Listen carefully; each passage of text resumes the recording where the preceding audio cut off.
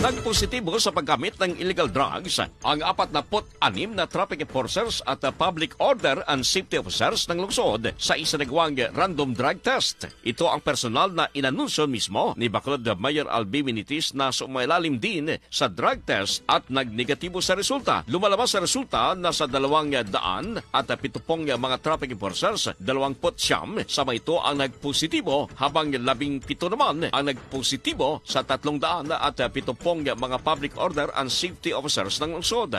Ayon sa kay Mayor Benitez, lumalabas na 10% sa mga personal ng Bacolod Traffic Authority at Public Order Office ang nagpositibo sa paggamit ng illegal drugs. Kagad naman na inutos ng alkalde na i-terminate sa trabaho at isailalim sa drug rehabilitations ama ito para maging patas ayon sa alkalde sumailalim din sa drug test ang mga elected officials. Kasama mo sa DYHB RMN Bacolod, reaching millions nationwide and worldwide for more than 70 years.